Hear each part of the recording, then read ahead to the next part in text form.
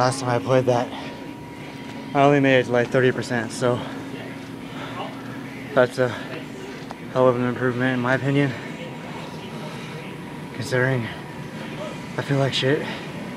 And that was my second set.